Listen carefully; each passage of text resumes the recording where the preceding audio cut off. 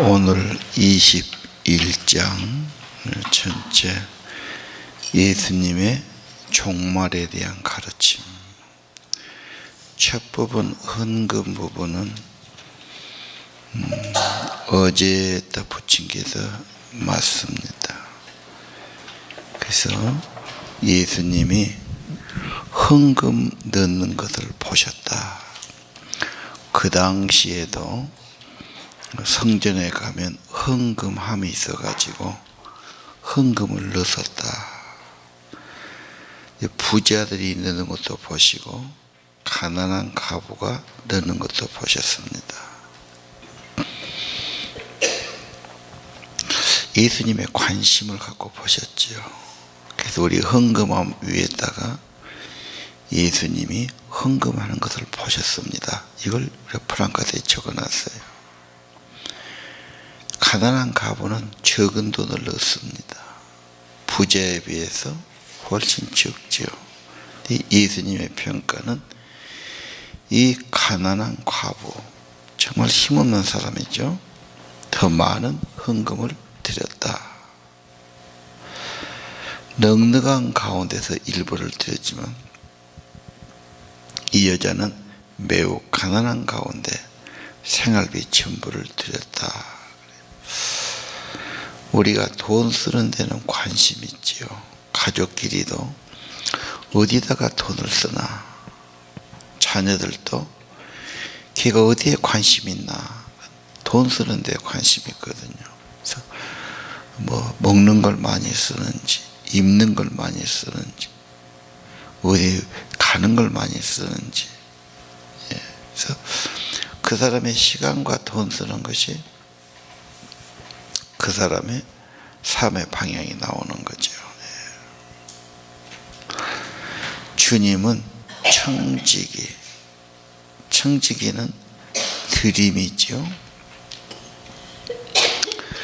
그러니까 그 말은 어, 얼마 드렸냐보다 너, 너한테 남은 게 얼마냐, 남은 게 얼마냐.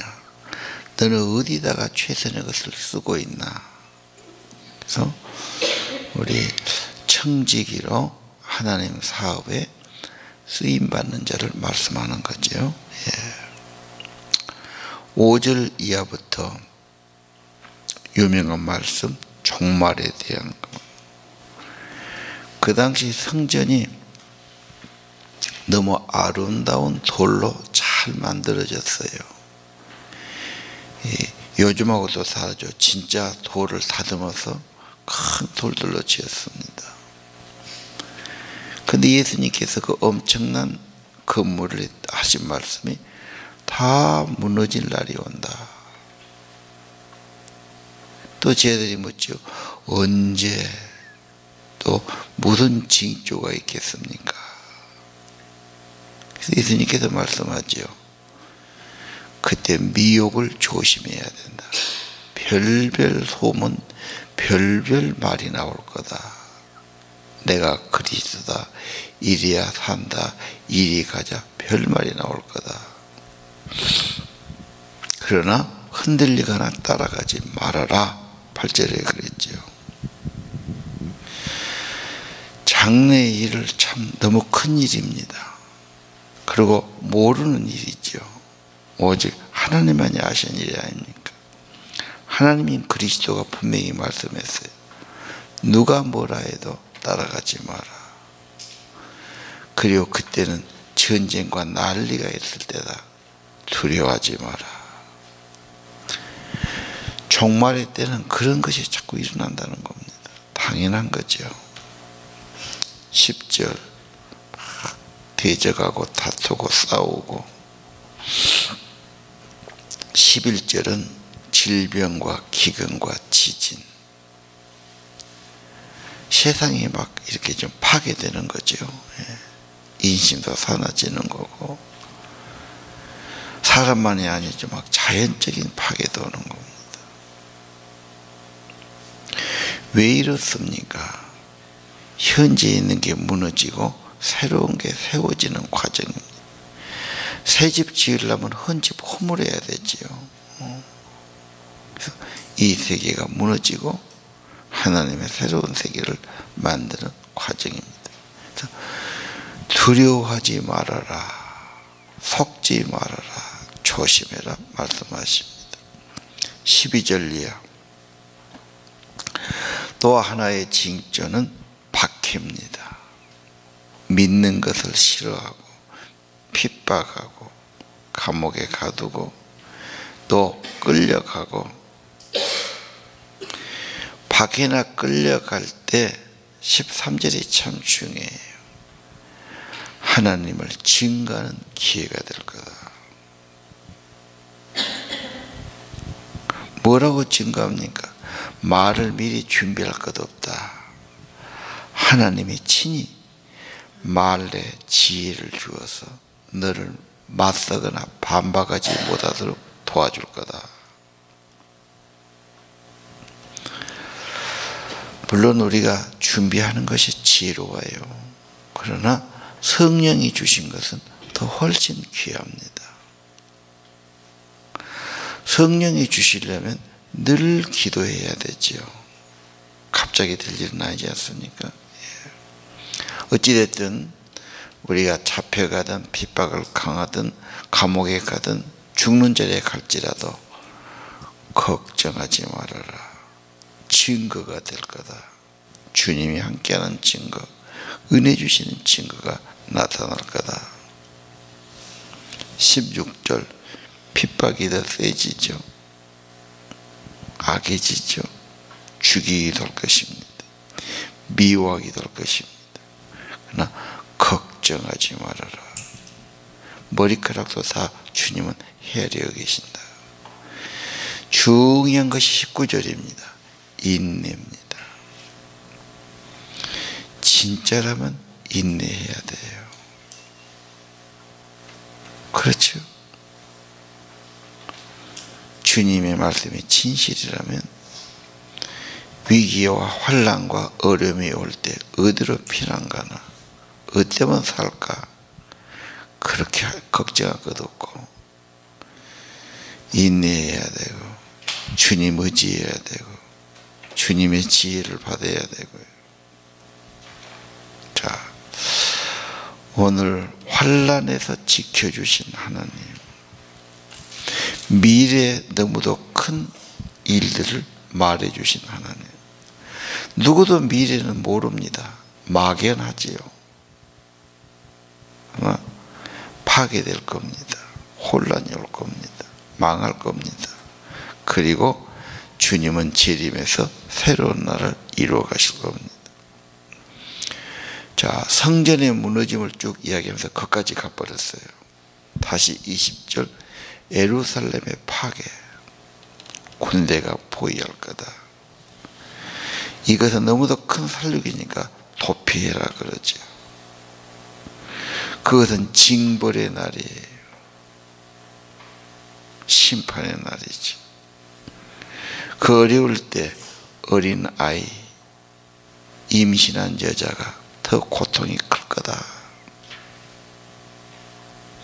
어린애가 딸렸으니까 참 그러겠지요. 그 성경에는 이런 일을 피하도록 기도해야 된다. 그런 말씀이 누가복음 21장이 마태복음은 24장 전부에 또 마가복음은 13장에 한 장에 쫙 나와 있어요. 우리 좀 비교하면서 같이 보는 게 좋겠죠.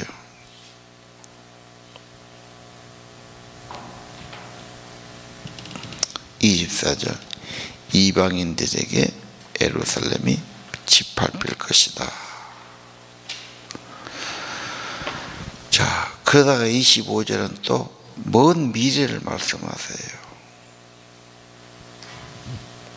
종말의 그림이 이렇게 한 끝을 보여준 다음에 다음에 다시 오실 또 한 끝을 보여준 겁니다. 둘을 연결시키면 이해가 안 됩니다. 이 종말은 마지막 종말하고도 관련되는데 최후의 심판의 때를 말합니다.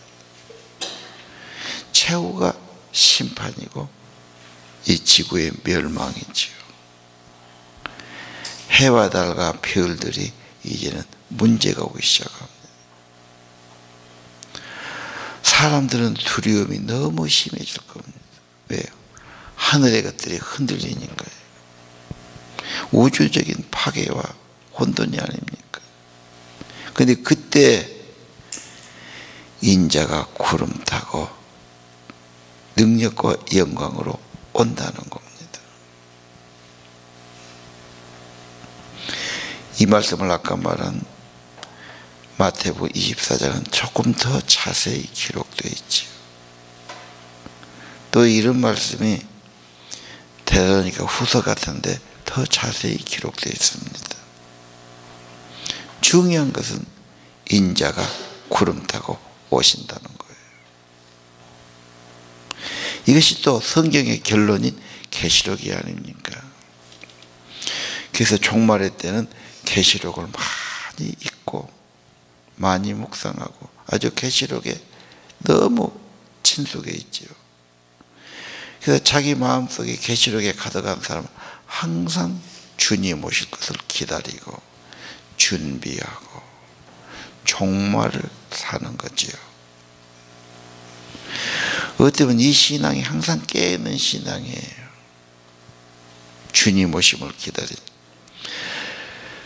성경의 결론은 마라나타 예수님 어서 오시옵소서. 내가 준비합니다. 기다립니다. 주님 오셔서 주의 나라 이루어 주옵소서.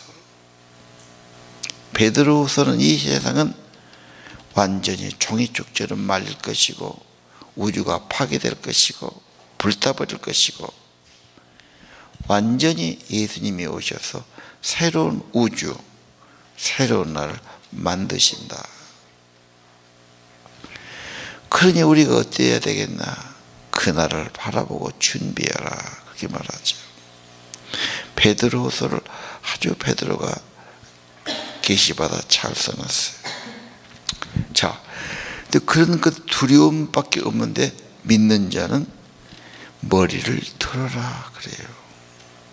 왜요? 시상대 나오라는 말입니다.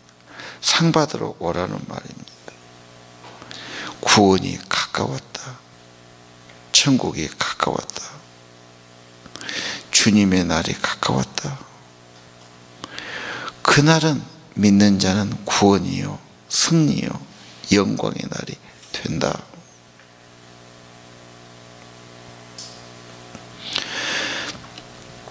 종말은 너무도 거대한 문제입니다. 미래 분명히 있을 일이고요. 그 많은 사람이 너무 거대하니까 생각도 못하고 생각하기도 싫고 우선 살기도 힘든데 그러나 미래가 없다는 것은 이건 엄청난 비극이에요. 모른다는 것도 문제예요. 예수님은 분명히 말씀했어요.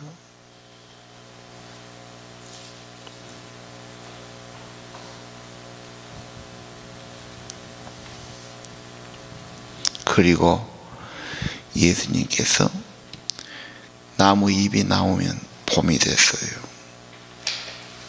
감나무 잎이 나오면 여름이에요. 감나무는 아직도 잎이 안 나왔어요. 이와 같이 그 다 나무 보면 알지 않냐고 말이에요. 이런 징조가 있으면 하나님 나라가 가까웠다. 심판만 있는 게 아니에요. 하나님 나라예요. 주님의 나라. 계시록에 말 신천 신지예요. 시하늘과 시땅. 신천지가 좋은 말은 다 가져갔어요. 추수꾼이네, 신천지네 지금 그러고 있어요. 계속 미워가는 거예요. 하나님 나라가 가까웠다.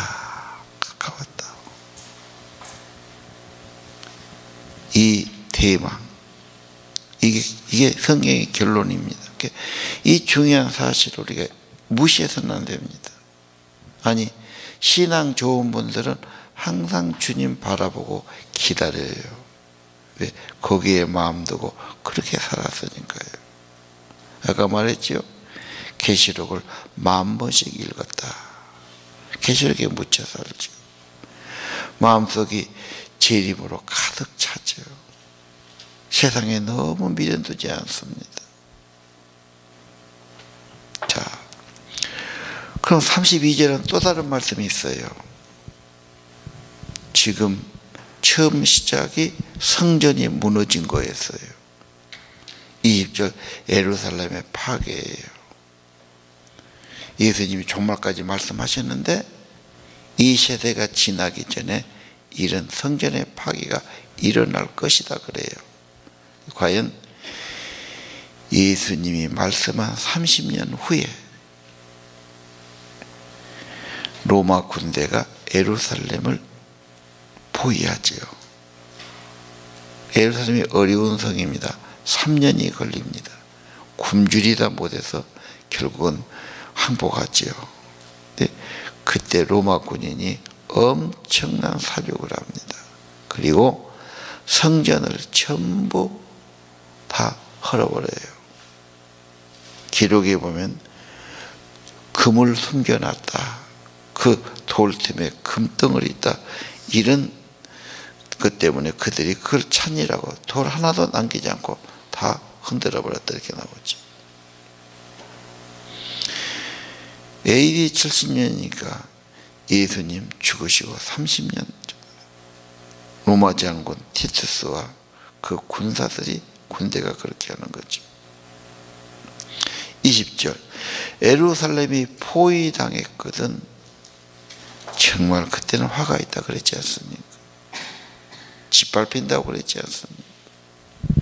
이것도 종말의 심판과 같은 맥락이에요. 심판의 때도 그렇게 멸망하고 심판이 올 거예요. 준비해야 되죠. 노아 때도 심판했고 소돔 고모라 때도 심판이 있었고 예수님 33절 내 말은 없어지는 게 아니다. 천지는 없어져도 내 말은 없어지지 않는다. 그대로다. 그대로다. 절대적인 믿음 가져야 되죠. 그러면서 결론에 무엇을 말씀하시죠? 네 마음이 세상 것으로 눌리지 않게 해라고 말이죠. 자꾸 내가 어떻게 살까? 이 땅에서 어떻게 잘 살까? 이 땅에서 너무 세상 것으로 그러면 하나님 생각할 시간, 준비할 시간이 없잖아요. 마음 뺏기지 말아야 돼. 또 술 먹고 방탕하지 말아라. 정신 차려야 되죠. 그날은 더대치는 것처럼 갑자기 올 거다.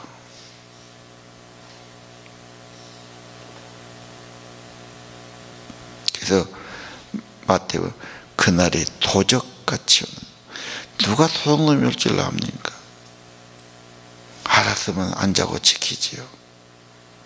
도적 맞으면 굉장히 허망한 겁니다. 와서 다 들어가 버리니까. 갑자기 도적처럼 올 거다. 이 종말은 35절 모든 사람 지구상의 모든 사람에게 오는 거다. 그래서 36절에 결론 깨어 기도해라. 항상 깨어 있으라. 그걸 기도에 깨어 있으라. 기도로 준비해라. 기도로 힘을 얻어라. 주님 앞에 서도록 깨어 있어 기도해라.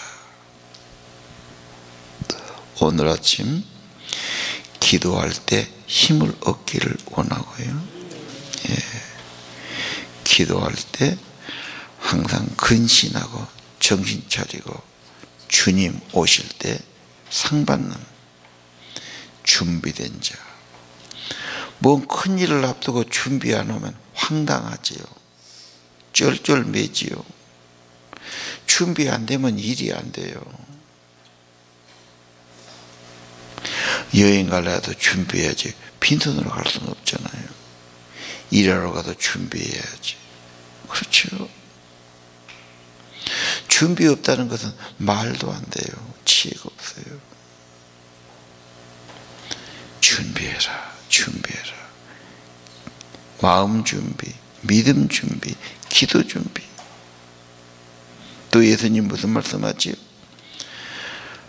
가르치시고 밤에는 기도로 가시고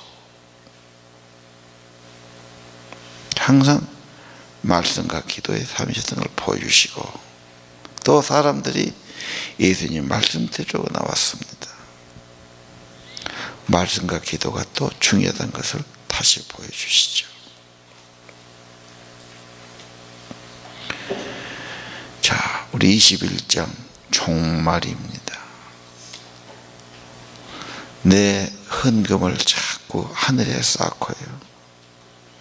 자꾸 드리면 마음도 거리 갑니다.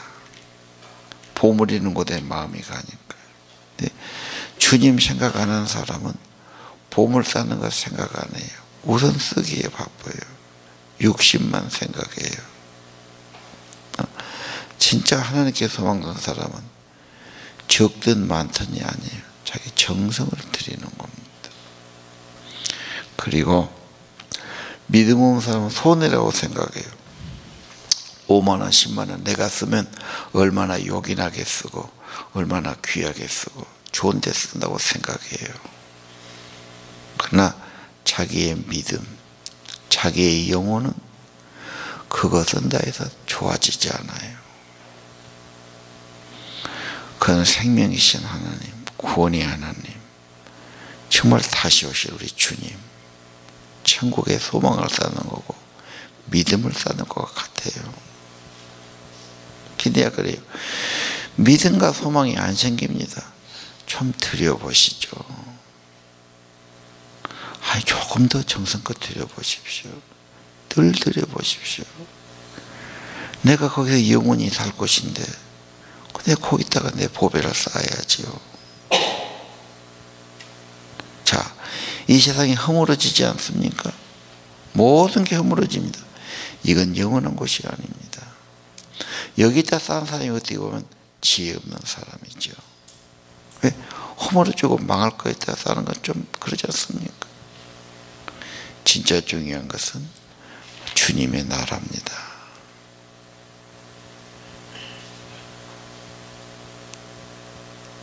(31절) 하나님 나라가 가까이 왔다.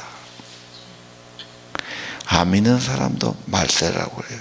도덕적인 혼란 때문에, 인간성 때문에, 자연의 오염 때문에, 대기의 오염 때문에, 자원의 고갈 때문에, 뭔가 이 천체도 한계가 있을 거예요.